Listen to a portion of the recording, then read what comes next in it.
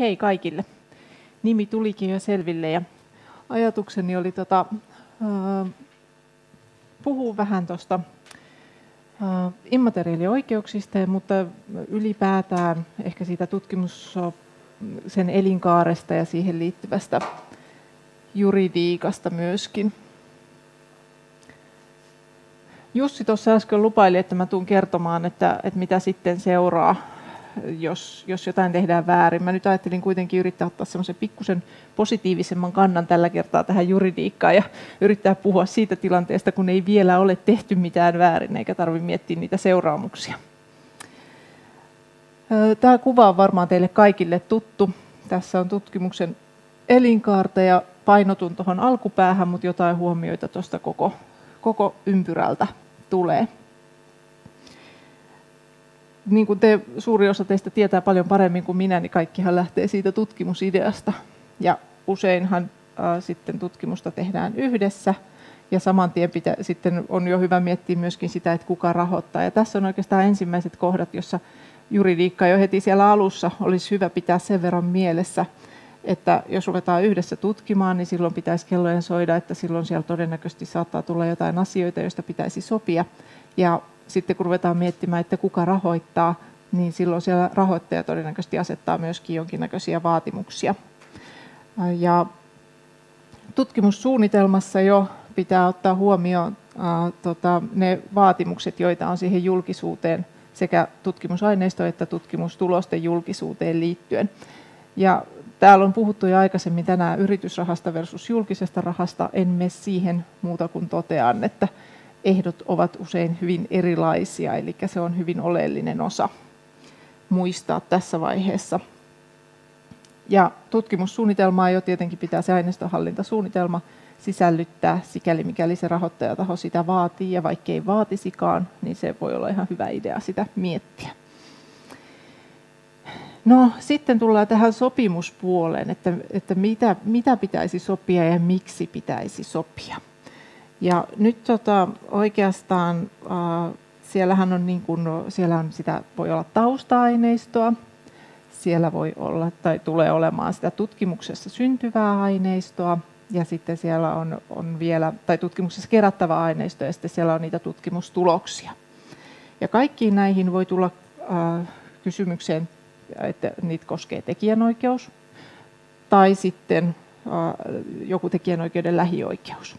Ja lähinnä tekijänoikeuden lähioikeuksista luettelo- ja tietokannan valmistajan suoja on sellainen, joka siellä voi tulla. Jotta tekijänoikeus tulisi kyseeseen, niin sen pitää ylittää teoskynnys, sen mitä on saatu aikaiseksi. Ja mikä on teoskynnys? Se on määritelty ihan niinkin valaisevasti kuin, että sen teoksen pitää olla riittävän itsenäinen ja omaperäinen. Suoja-aika te- tekijänoikeudessa on 70 vuotta siitä tekijän kuolemasta, ja jos on useita tekijöitä, niin viimeisimmän tekijän kuolemasta. Eli puhutaan todella pitkistä suoja-ajoista. Tekijänoikeudessa on kaksi osa-aluetta tavallaan. Siellä on taloudellisia oikeuksia ja siellä on moraalisia oikeuksia. Ja niistä oikeuksista, mistä sopimusten kohdalla puhutaan, niin ne on noita taloudellisia oikeuksia. Eli ne taloudelliset oikeudet on oikeuksia määrätä siitä teoksen valmistamisesta tai teoksen kappaleiden valmistamisesta ja sen yleisön, yleisölle saattamisoikeudesta. Ja ne on tosiaankin niitä, mitä voidaan luovutella sitten asianmukaisilla sopimuksilla. Sen sijaan moraaliset oikeudet, joita on se niin kutsuttu isyysoikeus, eli se, että tekijä pitää ilmoittaa, kun sitä käytetään, sitä kyseistä aineistoa. Ja sitten se, että sitä aineistoa ei missään tapauksessa, tai teosta ei missään tapauksessa saa saattaa yleisön saataviin niin, että se loukkaisi sitä alkuperäistä tekijää jotenkin. Niitä ei ole mahdollista siirtää kenellekään. Tekijänoikeus syntyy aina henkilölle. Se ei voi syntyä alkuperäisesti organisaatiolle, mutta se voidaan siirtää organisaatiolle. Ja tämä oli nyt Suomen tekijänoikeuslaista. Ja nyt täytyy muistaa, että jossain muissa maissa saattaa olla hyvin erilaista sitten se, että kenelle esimerkiksi tekijänoikeus voi syntyä.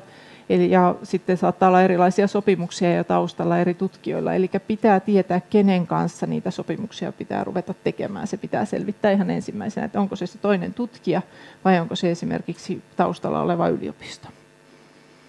Sitten on nämä tekijänoikeuden lähioikeuksista tosiaankin se luettelo ja tietokannan valmistajan suoja, joka voi tulla siellä varsinkin siellä tausta tai syntyvän aineiston kohdalla, tutkimusaineiston, mutta toki voi tulosten kohdallakin tulla kyseeseen. Ja siellä on keskeistä se, että siinä henkilöllä on oikeus määrätä siitä, siitä, siitä työn koko sisällöstä tai olennaisesta osasta valmistamalla kappaleita ja saattamalla se yleisön saataviin. Siellä on suoja-aika vain 15 vuotta työn valmistumisvuodesta. Eli summa summarum, siellä pitää sopia tausta-aineistojen käyttöoikeuksista ja kuinka laajoja ne käyttöoikeudet on. Koskeeko ne pelkästään, annetaanko se tausta-aineisto käyttöön vain ja ainoastaan tässä projektissa, vaiko sitten myöskin mahdollisesti tästä myöhemmin kumpuavissa projekteissa. Samoin täytyy sopia siitä, että no, miten tämä tutkimuksessa kertyvä aineisto, miten siellä jakautuu oikeudet, kenellä on oikeus päättää siitä jatkokäytöstä. Ja se, mikä ei usein ehkä tule mieleen, on se, että sekin on tärkeää, että mihin ja koska se tutkimuksessa syntyvä aineisto arkistoidaan, koska jos olet ollut mukana projektissa, jossa syntyy tutkimusaineistoa, mutta se ei ole sinulla käytettävissä, vaan se on jollain muulla, eikä ole mitään sovittu siitä, että miten hän saattaa sen muiden saataville, niin voi olla, että käytännössä vaikka oikeudet sinänsä sinulla olisikin, niin sinulla ei ole pääsyä siihen aineistoon. Ja sitten on nämä tutkimustulosten omistus ja se, että miten sitten käytetään niitä tutkimustuloksia. Eli kuka päättää tulosten julkaisemisajankohdasta ja missä sitten julkaistaan. Mitä sitten pitää mietiskellä, eli nythän avoimessa tieteessähän on tämä tutkimusdatan avoimuus, sitten on tämä tutkimustulosten avoimuus ja sitten metodin avoimuus. Kun tässä on tämä juridinen twisti mulla, niin emme siihen metodiin, se ei oikeastaan tähän nyt sillä tavalla istu, vaan puhun tutkimusdatasta ja tutkimuksen johtopäätösten julkaisemisesta. Ja siellä on, ensinnäkin täytyy ylipäätään miettiä totta kai muiltakin kanteilta, mutta myös juridiikan kannalta, että miten se data kerätään, riittyykö siihen jotain rajoituksia, mihin se tallennetaan, minkälaisia sopimuksia täytyy olla, jos käytetään jotain pilvipalvelua, voiko mahdollisesti ää, tota, tiedot, onko ne siirrettävissä ää, EUn ulkopuolelle vai ei, tai voidaanko ne siirtää sen sopimuksen mukaan, mikä sen pilvipalvelun käyttäjän kanssa tehdään mitä tietoja kerään. Jos kerätään tietoja ihmisistä, henkilötietoja, ja vielä erityisesti jos on arkaluontaisia henkilötietoja tai henkilötunnuksia kerätään, niin siellä on paljon tiukemmat vaatimukset sit henkilötietolaissa, että miten pitää suojata sitä tietoa. Ja sitten tämä, mistä äsken jo puhuttiin, että kuka saa käyttää dataa ja kuka päättää sen käytöstä ylipäätään. No, tutkimuksen johtopäätösten julkaisemisen kohdalla äsken jo puhuttiin siitä, että kenellä on oikeus julkaista, mutta sitten ne rahoittajan ehdot ovat keskeisiä siitä. Ja myöskin oman työnantajan käytäntö on hyvä tuntea ja tietää. Ja sitten sen varmistaminen, että voi rinnakkaisjulkaista. Mä otin tähän Tekesin Suomen Akatemian ja, ja Horisontin ehdoista hyvin, hyvin suppeasti niin kuin pää, ajatuksen siitä, että mitä siellä sanotaan avoimista tieteestä. Tekes suosittelee avointa julkaisemista, mutta se ei ole pakko. Ja tämä suositus ei koske tutkimusaineistoa, mutta Tekes ilmoittaa jo ihan suoraan, että jatkossa tulee suositus koskemaan. Mm, tästä huomaa mun mielestä varsin hyvin, että Tekesillä on yrityksiä myöskin asiakkaina, joten, joten siellä, tota, nämä on suositustasolla. Kun sitten taas Suomen Akatemia vaatii avointa julkaisemista ja kehottaa avaamaan tutkimusaineistot ja menetelmät. Ja horisontissa tulokset pitää julkaista, mutta tutkimusaineistoon ei ole vaatimuksia. No sitten mennään seuraavaan vaiheeseen, eli ollaan jo tutkimustulosten ja tuotosten aikaansaamisvaiheeseen. Ja mitä siellä juridiselta kannalta, niin pitää muistaa ne rajoitukset, joita on kartoitettu siellä tutkimussuunnitelman tekemisen vaiheessa, toivottavasti siitä, että minkälaista tietoa voidaan ja kannattaa kerätä ylipäätään. Sieltä tulee ne henkilötietolain määräykset. Ja myöskin henkilötietolaista tulee se, että jos se on sitten näitä henkilötietoja, niin pitää muistaa suojata se tieto. Ja tietenkin kaikessa tutkimuksessa pitää muistaa viitata asianmukaisesti ja muistaa ne muiden isyysoikeudet. Sitten julkaisuvaiheessa on erityisen tärkeää se, että selvitetään se rahoittaja edellyttämä julkaisutapa. Tosin se piti selvittää jo siellä alussa, jotta tietää, mitä ollaan tekemässä. Ja sen jälkeen, kun on sitten valittu, että missä sitten haluttaisiin julkaista, niin kannattaa ihan oikeasti lukea se julkaisijan tarjoama sopimus läpi. Jos nimittäin tilanne on se, että jotkut julkaisijat edellyttää, että kaikki oikeudet siirretään, niin sen jälkeen rinnakkaisjulkaiseminen ei ole enää mahdollista. Mutta onneksi, onneksi tämä ei nyt kuitenkaan ole se normaali tapa, millä julkaisijat toimii, vaan suurin osa mahdollistaa rinnakkaisjulkaisemisen kuitenkin. Ja sen jälkeen, kun, kun on julkaistu, niin sitten sinne ö, julkaisuarkistoon rinnakkaistallennetaan, mikäli se on mahdollista. Ja nyt on mun mielestä tärkeää muistaa se, että, että se pitää aina varmistaa se, että se on mahdollista se rinnakkaisjulkaiseminen. Ja se pitää varmistaa siitä omasta sopimuksesta tai kysymällä kustantajalta julkaisulupa, rinnakkaisjulkaisulupa. Nimittäin Serpa Romeo-palvelu, jota käytetään paljon, niin, niin se on erittäin hyvä apuväline, mutta siellä kuitenkin on kyse vain niistä kyseisenkin kunkin kustantajan mallisopimuksista. Ja nyt jos jossain yksittäistapauksessa kustantaja jostain syystä onkin sopinut toisella tavalla, niin silloinhan Serpa Romeo ei voi sitä mistään tietää. Samat rahoittajatahot kuin äskenkin ja mitä he sanotaan siellä julkaisemisesta. Eli kaikki nämä kolme rahoittajatahoa suosittelee julkaisemista niin sanotus vihreän tai kultaisen tien mukaisesti. Eli vihreä tiehän on se, että julkaistaan jossain lehdessä ja rinnakkaistallennetaan heti tai sitten näiden tiettyjen, tiettyjen aikojen 6 kuukautta tai 12 kuukautta jälkeen. Kultainen tie tarkoittaa sitä, että se julkaistaan Open Access-julkaisussa – mutta siellä on kirjoittajamaksu.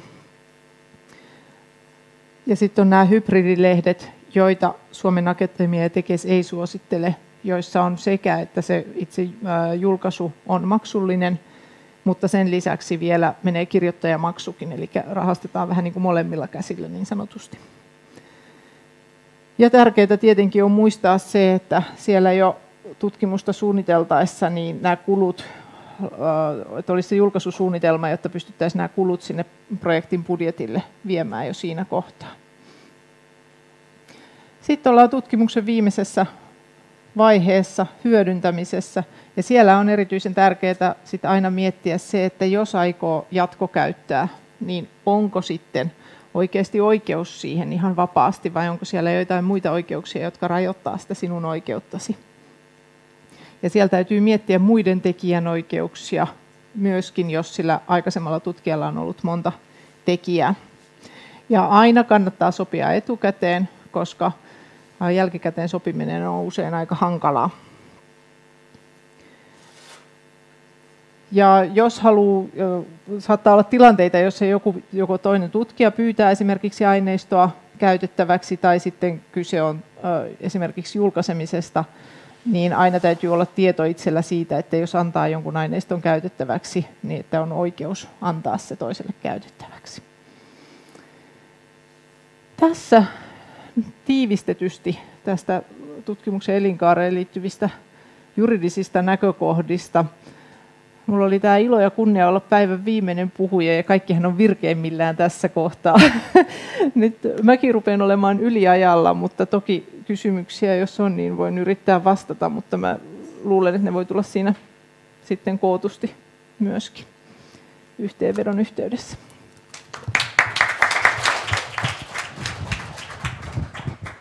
Kiitos Riikka. Tämä oli ihan hyvä, hyvä informaatiopläjäys nyt tästäkin aiheesta. Ja tosiaan niin yritän pysyä tuossa loppuaikataulussa, että tässä on ihmisillä jollakin menoa sitten bussiin tai johonkin muuhun kulkuvälineeseen. Ja, eli pyritään lopettelemaan tuossa puoleen neljään mennessä. Mutta tosiaan tässä oli, tässä oli tuota vielä hetkinen aikaa, reilu 10 minuuttia tähän koosteeseen ja loppukeskusteluun. Ja tuota, varmaan näitäkin teemoja, mitä tässä äsken vielä otettiin esille, eli opetuksen, tutkimuksen avaaminen ja, ja immateriaaliasiat ja sopimukset ja niin, niin päin pois. Ja oikeastaan mihin tahansa tuota liittyvään asiaan, mitä on tämän päivän aikana kuultu, niin voidaan keskustella. Oma ajatus, että en lähde itse tekemään mitään yhteenvetoa, vaan varmaan heitellään tässä kuutioon. Ja tässä näin pari, pari oikeastaan kysymystä teille yleisölle. Tuo ensimmäinen oli päivän tärkein anti. Tämä nyt on, että jos jollakin tulee mieleen, niin haluaa, haluaa jakaa sitä, että minkä itse koki niin kuin omalta kannaltaan tai sitten edustamansa yhteisön kannalta hyödylliseksi, niin siitä, siitä kommentteja ja oikeastaan vielä, vielä tärkeämpänä ja mikä voi olla arvokas nyt sitten tämän, tämän ATT-hankkeenkin kannalta ja näihin jatkokuvioihin liittyen on, että jos tulee jotain ideoita teemoista, mitä tämän tyyppisiin koulutuksiin tarvittaisiin ja, ja mitä, mitä pitäisi olla, olla lisää tai tulevissa koulutuksissa, niin niitä erityisen mielellään kuullaan ja, ja nämä tässä voidaan sitten tehdä muistiinpanoja nyt sitten näihin ideoihin liittyen. Mutta mistä, mistä pöydästä me aloitetaan? Aloitetaan sieltä perältä. Heitetään vaan kuutioon, niin siellä varmaan jollakin on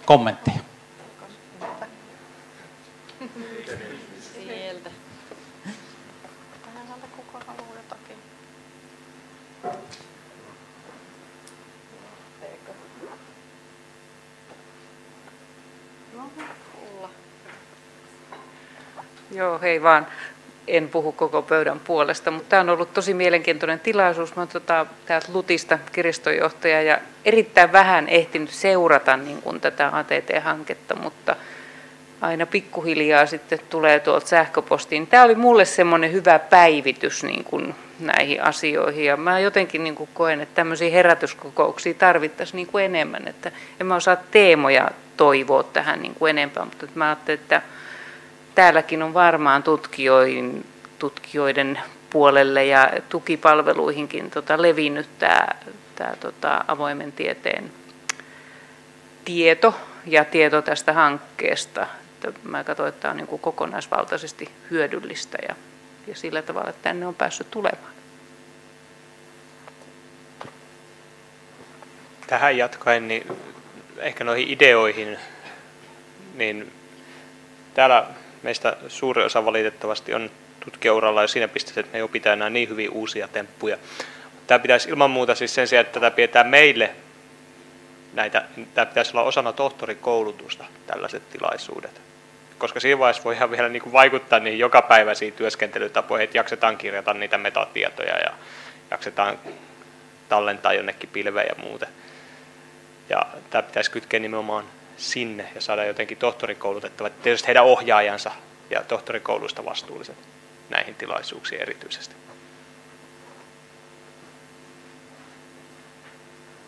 Hyviä pointteja. Mielellään lisääkin kuullaan vielä.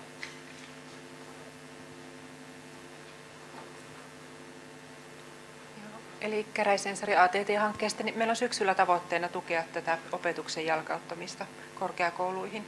Eli tehdään muun muassa yhteistyötä tuon tutkijakouluverkoston kanssa ja parhaillaan käydään niin neuvotteluja ja suunnitellaan sitä.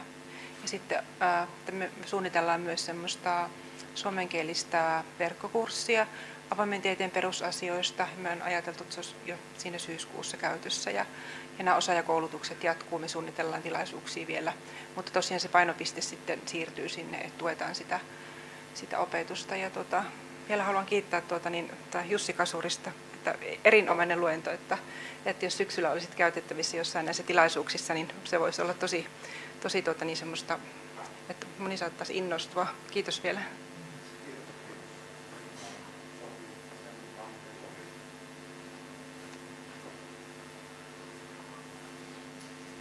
Mikko. No, Taas äänessä. Tota, mä olisin vaan todella monipuolinen mielenkiintoinen tilaisuus, kiitos.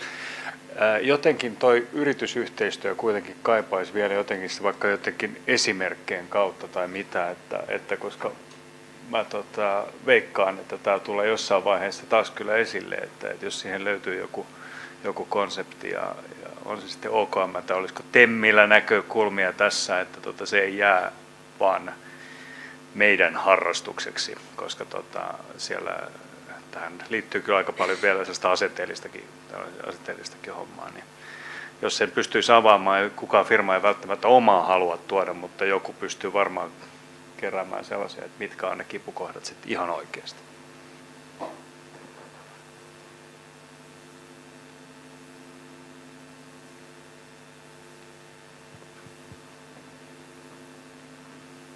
Hiljasta. Verkossa. Verkossa on, joo, joo hyvä. Elikkä, joo, eli tuota, Liisa Siipilehto kysyy, että missä LUT säilyttää opetusmateriaalinsa?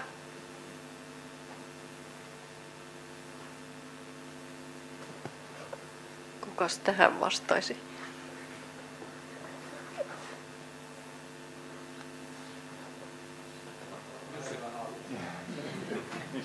Nyt ei, nyt ei, ilman mikrofonia ei kuulu tuonne verkkoon. Haluaisi joku... Opetusmateriaalinsa, kun oli kysymys.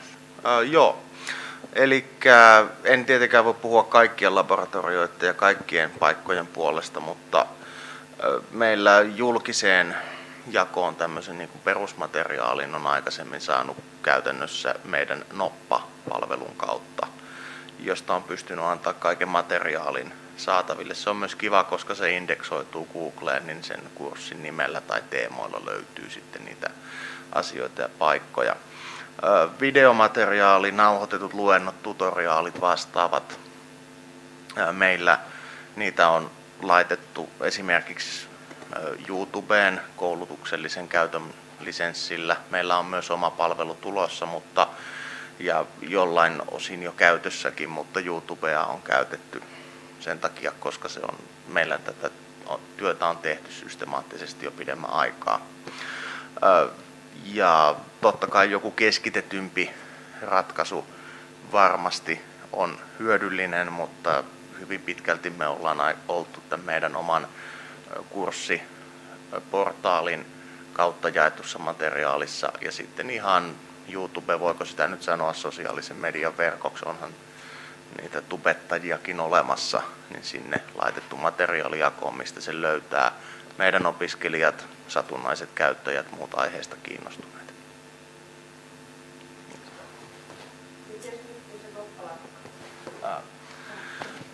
Ää, miten, ää, miten nyt kun noppa lakkaa olemasta? No, se on oikein hyvä kysymys.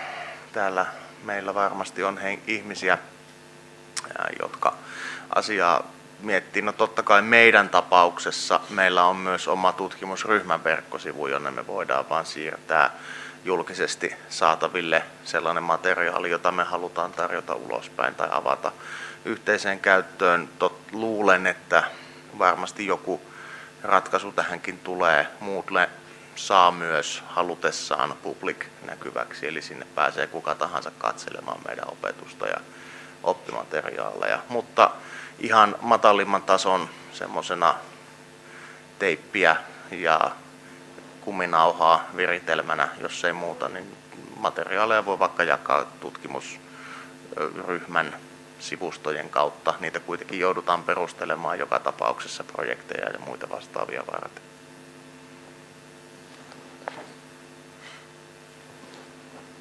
No niin, oliko meillä verkossa vielä muita kysymyksiä tai kommentteja? Iris halusi kysyä tai kommentoida. Kiitos. Itse asiassa minulla on yksi kysymys tälle vieruskaverille eli Riikalle näistä oikeuksista. Minulta on joskus kysytty, että kuka nämä tutkimusaineistot omistaa ja minulla on tällainen nyrkkisääntö, minä kysyn, onko tämä nyt oikein vai väärä, että tämmöisellä yliopiston perusjulkisella rahoituksella tehdyssä tutkimuksessa tutkija omistaa ne aineistot ja voi niistä sopia. Ja sitten semmoisissa tutkimuksissa, missä on joku ulkopuolinen rahoittaja, niin näillä oikeuksien siirtosopimuksilla oikeudet on yliopistolla. Joo, toi pätee Lutin osalta, mutta toihan ei sitten päde välttämättä muualla. Hyvä, kiitos. Sitten vielä Jussille, saako vielä yhden pikakysymyksen? Mikä sinun näkemys on, että onko tämmöinen oppimateriaalin avaaminen niin kasvava tendenssi, kun tota, no, minä olen pitkään ollut erilaisissa korkeakouluissa töissä ja törmännyt sellaisakin ajattelutapaan, että sanotaan, että minä olen yön pimeänä hetkinä nämä sydänverelläni kirjoittanut nämä materiaalit, eikä niistä varmana kukaan muu hyödy. Ja niin tota, sulla oli hyvin tällainen sosiaalinen näkemys tähän asiaan, että tota, kansantalous hyötyy Suomessa ja ulkomailla ja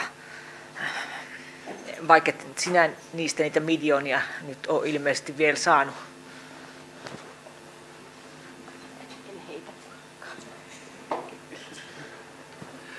Joo, no siis lähtökohtaisesti voidaan kai sanoa, että jos joku MIT tarjoaa kaikkien kurssien kaikki oppimateriaalit avoimesti verkossa, niin se meidän yliopistossa keskellä yötä kalvoja kasaan nyhräävä henkilö luultavasti ei laita sinne mitään sellaista, jota alahuippututkijat jo valmiiksi avanneissa paikoissa ei olisi laittaneet.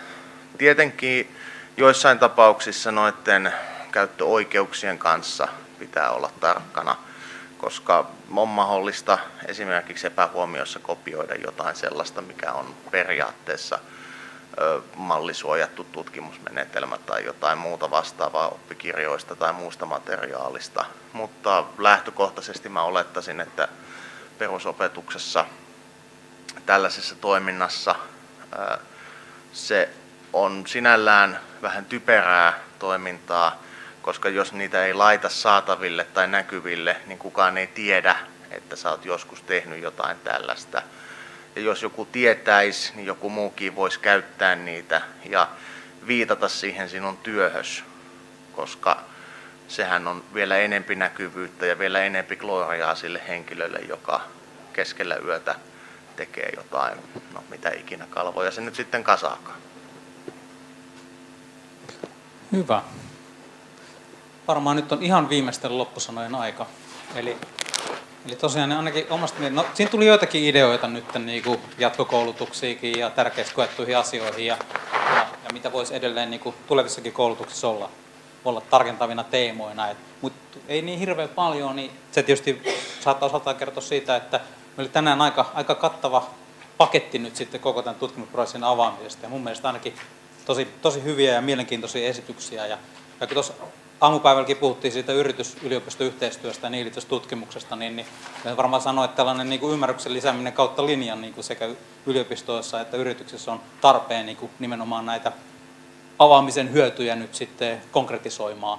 Ja tietysti Jussi tässä loppu, loppupuolella laittoi vielä niin sanotusti eurot tiskiin, eli, eli jos pystyy niin kuin osoittamaan sitä arvoa vielä, vielä konkreettisten esimerkkien kautta, niin, niin se, on, se on tosi tärkeää. Samoin teille oli mielenkiintoista kuunnella tietysti nämä työkalut ja palvelut ja, ja tällaiset, mistä tietysti tavallaan karuun luettavaa, että, että siellä nyt olisi, on tota, Lutinkin tai, tai joidenkin muidenkin tahojen niin, niin lukemat siellä sellaisia kuin ne on, että sitä potentiaalia hyödyntää näitä palveluja on paljon enemmän kuin mitä sitä tällä hetkellä tehdään. Mutta tota, varmaan tässä nyt sitten on, on työsarkaa niin kuin monella tasolla ja tutkijatasolla, mutta myös organisaatioiden tasolla, että mistä jatketaan tätä konkreettista työtä, työtä eteenpäin. Ja